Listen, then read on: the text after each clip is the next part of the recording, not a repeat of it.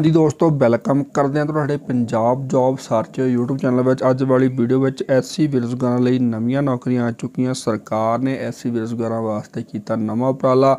ਅਗਰ ਤੁਸੀਂ ਵੀ ਐਸਸੀ ਬੇਰੁਜ਼ਗਾਰ ਹੋ, ਤਾਂ ਤੁਹਾਡੇ ਵਾਸਤੇ ਵੱਡੀ ਖੁਸ਼ਖਬਰੀ ਆ ਚੁੱਕੀ ਹੈ। ਤੁਹਾਡੇ ਵਾਸਤੇ ਸਪੈਸ਼ਲ ਸਰਕਾਰ ਦੇ ਵੱਲੋਂ ਨੌਕਰੀਆਂ ਜਾਰੀ ਕਰ ਦਿੱਤੀਆਂ ਗਈਆਂ ਨੇ।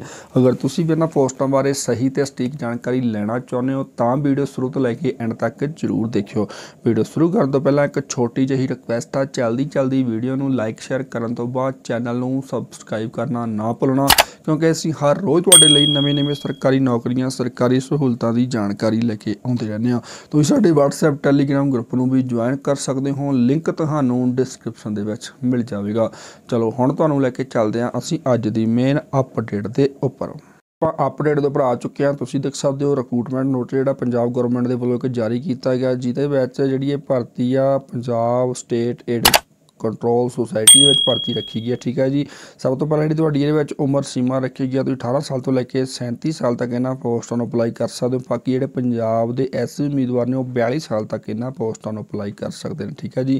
ਤੁਸੀਂ ਪੋਸਟ ਦਾ ਨਾਮ ਦੇਖ ਸਕਦੇ ਹੋ। ਟੈਕਨੀਕਲ ਆਫੀਸਰ ਦੀਆਂ ਇਹਦੇ ਵਿੱਚ ਐਸਸੀ ਫੀਮੇਲ ਦੀ ਇੱਕ ਪੋਸਟ ਰੱਖੀ ਗਈ ਜਿਹੜੀ ਤੁਹਾਡੀ ਤਨਖਾਹ ਹੋਵੇਗੀ 35000 ਰੁਪਏ ਪ੍ਰਤੀ ਮਹੀਨਾ ਤੁਹਾਨੂੰ ਦਿੱਤਾ ਜਾਵੇਗਾ। ਠੀਕ ਹੈ ਜੀ। ਜਿਹੜੇ ਇਸ ਫਾਰਮ ਅਪਲਾਈ ਕਰਨ ਦੀ ਲਾਸਟ ਡੇਟ ਆ 10 11 2023 ਸ਼ਾਮ 5 ਵਜੇ ਤੱਕ ਤੁਸੀਂ ਇਹਨਾਂ ਪੋਸਟਾਂ ਨੂੰ ਅਪਲਾਈ ਕਰ ਸਕਦੇ ਹੋ। ਜਿਹੜੀ ਤੁਹਾਡੀ ਇਹਦੇ ਵਿੱਚ ਯੋਗਤਾ ਰੱਖੀ ਗਿਆ ਤੁਸੀਂ ਗ੍ਰੈਜੂਏਸ਼ਨ ਪਾਸ ਕੀਤੀ ਹੈ ਕਿਸੇ ਮਾਨਤਾ ਪ੍ਰਾਪਤ ਯੂਨੀਵਰਸਿਟੀ ਕੋਲੋਂ, ਤਾਂ ਤੁਸੀਂ ਇਹਨਾਂ ਪੋਸਟਾਂ ਨੂੰ ਅਪਲਾਈ ਕਰ ਸਕਦੇ ਹੋ। ਤੁਸੀਂ ਇਹਨਾਂ ਪੋਸਟਾਂ ਨੂੰ ਅਪਲਾਈ ਕਿਵੇਂ ਕਰੋਗੇ? ਇਹਨਾਂ ਦੇ ਵੱਲੋਂ ਹੋਏ ਸਾਈਟ ਦੇ ਉੱਪਰ ਜਾ ਕੇ ਤੁਸੀਂ ਖੁਦ ਘਰ ਬੈਠੇ ਤੁਸੀਂ ਇਹਨਾਂ ਦੇ ਫਾਰਮ ਅਪਲਾਈ ਕਰਕੇ ਇਸ ਨੌਕਰੀ ਨੂੰ ਜੁਆਇਨ ਕਰ ਸਕਦੇ ਹੋ।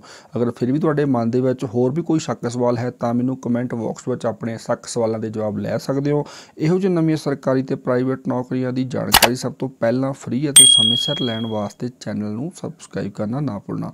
ਵੀਡੀਓ ਦੇਖਣ ਲਈ ਵੀਡੀਓ ਸ਼ੇਅਰ ਕਰਨ ਲਈ ਤੁਹਾਡਾ ਬਹੁਤ ਬਹੁਤ ਧੰਨਵਾਦ। ਬਾਏ ਬਾਏ ਜੈ ਹਿੰਦ।